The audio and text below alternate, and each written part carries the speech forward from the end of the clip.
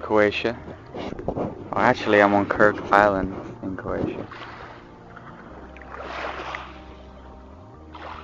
In a very quiet place. I mean, you really can't get better than this. Right, hopefully this is recording. God damn it. Not easy to set up, I tell you. It should be working. Right. Oh yeah.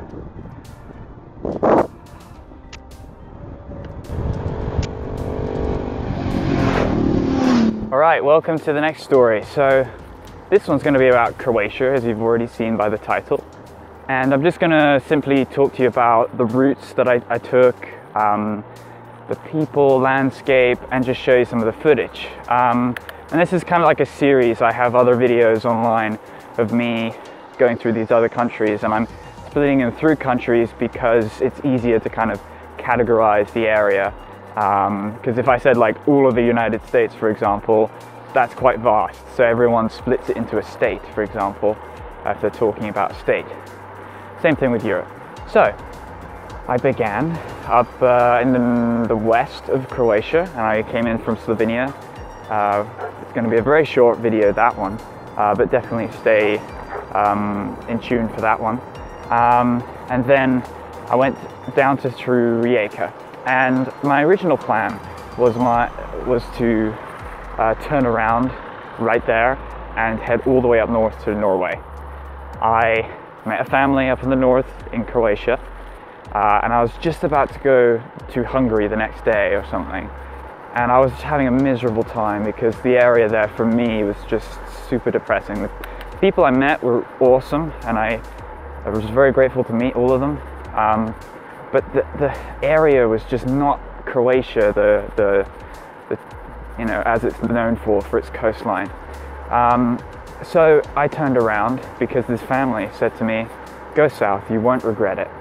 And it was amazing. Um, it's like these massive rocks are just sticking through the ground, coming out of the, of the sea. It's just, it's incredible. Highly recommend it to go and see that.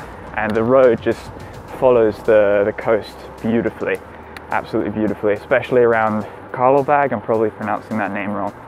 Uh, and then I just continued south through all of the coast, um, down all the way to Dubrovnik. Uh, I did pass a tiny bit of Bosnia again, um, which I might make a video about, but yeah, I literally just hopped into Bosnia for Bosnia-Herzegovina, uh, but for not for very long. But you have to also remember that the coastline is very different to the north of Croatia because it's kind of like farmland up there and then you get the mountains and then you get the coastline and it's all stunning. It's all amazing. Um, and it has gone through the war so there are some sections where there are mines and stuff like this if you're camping. Um, and it is quite difficult to find hosts but if you're along the coastline you'll be fine.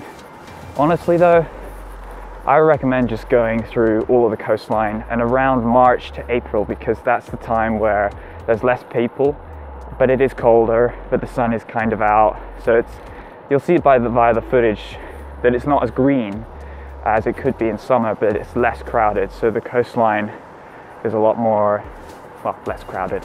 The islands are also awesome. I think you should go and see all of them because they're so cool. I only visited one. Um, and anyway, that, that's basically it. Uh, that is my short commentary on the story through Croatia with obviously my bike. Um, I'll be posting a lot more of these. Definitely stay tuned for them because I've got a lot more countries to mention. Um, I do apologize if sometimes the footage isn't the best, but you know, I just had a cheap camera at the time and you know, I think that the story is going to make up for that, you know. So we'll see. Like, subscribe, and I'll see you guys in the next video.